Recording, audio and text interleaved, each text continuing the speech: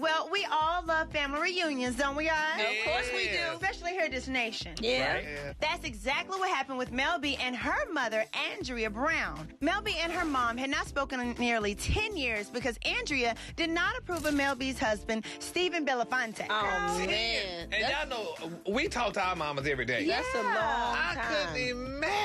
Well, as we all know, they split back in March, and now it looks like Mel and her mom are free to connect and get their life back together.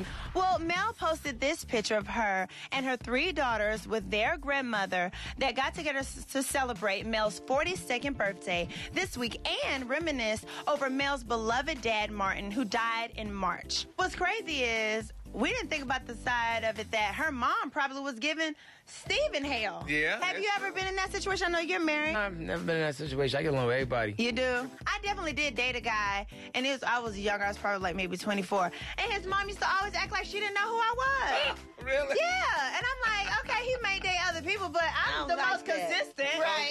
you know what I'm saying? Well, were you changing your weave or your makeup? I looked. at- She was being shady, about shade back then. There's a difference between shade and hate. That she hated you. She hated me. yeah, that, that sounds like hate. I would almost say oppression.